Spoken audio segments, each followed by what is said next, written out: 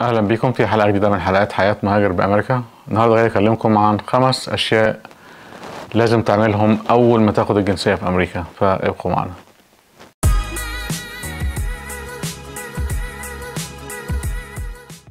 في بداية الحلقة أحب أشكر كل المشتركين الجداد في القناة. أهلا بكم معنا. الحقيقة قبل ما أبدأ كلامي أحب أشكر الأستاذ هاني هاني على تعليقه اللي بيقول فيه أنا زعلان إن المشاهدات قليلة جدا في القناة. عجبني جدا مصداقيتك وبساطتك في توضيح أي أمر. يا أستاذ أمير.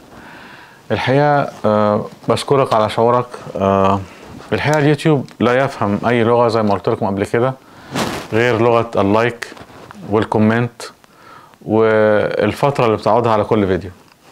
يعني لو عدد اللايكات بيزيد حتى لو تعليق من كلمة واحدة أو إن الناس تقعد فترة أطول. هما اليوتيوب بيحب إن الناس تقعد فترة أطول على ال platform بحيث إن هو يجذب مشاهدين أكتر. فكل ما آه، الفيديو ناس كتير تتفرج عليه فترة أطول وكل ما يبقى فيه like أكتر وكل ما فيه تعليقات أكتر هو بيبعته للناس وبتنتشر القنوات على كده. ولكن للأسف الناس كتير بتتفرج وما بتسيبش like ولا تعليق ولا أو بتطفي الفيديو من أول ثانيتين. فعشان كده بتبقى المشاهدات قليلة. خلافا للقنوات التانية اللي أنتوا عارفينها آه الناس بتكتب أي كلام يعني تعليقات بتبقى يعني كتيرة. حتى وإن كان المواضيع مش هادفة أو القناة مش هادفة آه للترفيه فقط.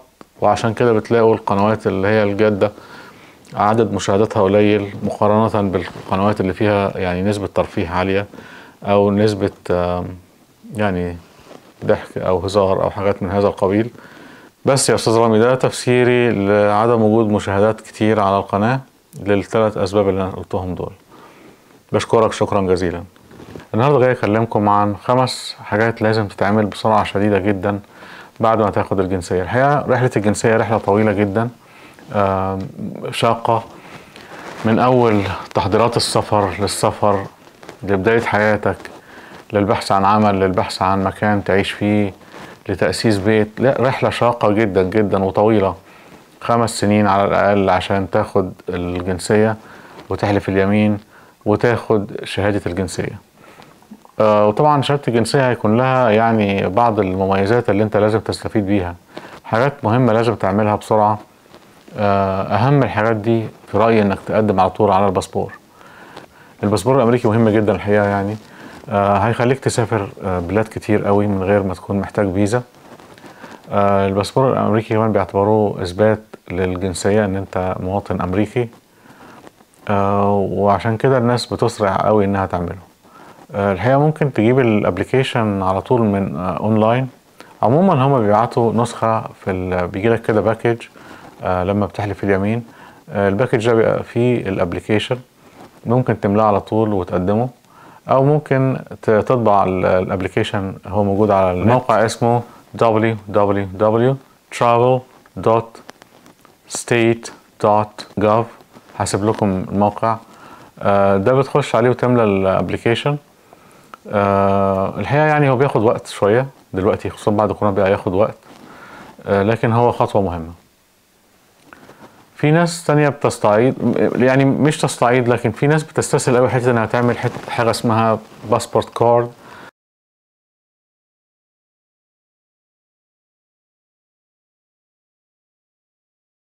ال passport card ده بيبقى تكلفته حوالي 65 جنيه. ممكن تعمله الحقيقة وهي يعني هيساعدك قوي في إنك تسافر جوه أمريكا بسهولة. مش لازم تشيل باسبور آه، يعني في جيبك يضيع منك أو حاجة. لكن طالما- طالما أنت داخل أمريكا ممكن آه، تستعمله بسهولة في المطارات. حتى في دول ممكن ترجع آه، منها بالباسبور دوت لا سواء جاي بالمركب أو سواء جاي بري. ممكن اللي هو ال- ال passport card ده يستخدم لو جاي من كندا أو جاي من المكسيك ممكن يدخلوك على الحدود بال- بال passport card ده. مفيش مشكلة. آه، فهو مهم. 65 دولار مش كتير لكن هو الحقيقة أنا شايف إن هو مهم.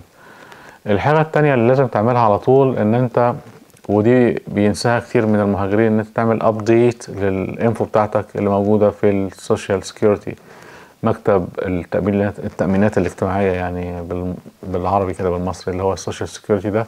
لازم تروح تغ- تغير يعني هم مش هيغيروه اوتوماتيك لكن هو أنت هتروح لهم آه، بالشهادة اللي أنت أخدتها بتاعت الجنسية هيغيروا لك بس حالتك من حاجة بيسموها آه، permanent resident اللي هو يعني مقيم دائم اللي هو ال green card يعني لحالة ال citizen ان انت بقيت مواطن أمريكي American citizen هم بيعملوا بس update لل data عندهم وخلاص ما فيش أكتر من كده. لأن يعني هم بيغيروا ما بيغيروهاش اوتوماتيك لكن انت لما تبقى مواطن أمريكي بيبقى لك مزايا تانية. خصوصا الناس اللي هتحصل على يعني مزايا من الحكومة آه، وانت مواطن أمريكي مختلف عن إنك مقيم دائم.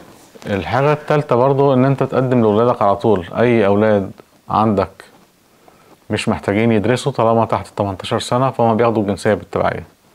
فبتقدم لهم وياخدوا الجنسية بالتبعية. لا هيدر... يعني مش مش شرط يذاكروا مش شرط يمتحنوا ولا يخشوا في الإجراءات اللي انت دخلتها. مجرد إن هم قصر آه وانت خدت الجنسية فهم بياخدوها بالتبعية يعني. الحاجة الت... الرابعة بقى اللي أنا بنصح بيها جدا آه عارفين الناس اللي هي عايزة تجيب عيلتها وبعدين تتأخر وهي ما تعرفش إن أنت عشان تجيب عيلتك بتاخد سنين طويلة جدا. الحقيقة أول ما بت- بتاخد الجنسية تقدر تقدم وتجيب إخواتك وتجيب آه والدك ووالدتك. والدك ووالدتك بيجوا بسرعة جدا لكن المشكلة هتبقى في الإخوة والأخوات خصوصا اللي هم مش قصر اللي هم عدوا السن يعني. آه دي بتاخد سنين طويلة يعني. فعشان آه يبقى الوقت إلى حد ما ملكك آه فأول ما تاخد الجنسية تقدم لهم. الحقيقة ال- في الخطوة دي بتبقى محتاج أنت تبقى sponsor أنت بتبقى يعني الراعي بتاعهم أو بتجيب حد sponsor خارجي يرعاهم اللي هو يعني يبقى متكفل بيهم ماليا في الفترة دي لو حاجة حصلت لهم أو احتاجوا مساعدات من أي نوع. خلال الخمس سنين الأولانيين هو هيبقى متكفل أو يعني هيبقى سبونسر عائل ليهم يعني لو حاجة حصلت. هو بيبقى متكفل بالمصاريف أو متكفل لو حاجة يعني كعبلتهم أو ما قدروش يدفعوا حاجة هو بيبقى يعني ملزوم بيها. ودي في خطوة مهمة يعني لو حد آه، ناوي يجيب إخواته فيقدم لهم على طول ما يستناش وقت لأن كل س... بتاخد سنين الموضوع بياخد سنين طويلة يعني.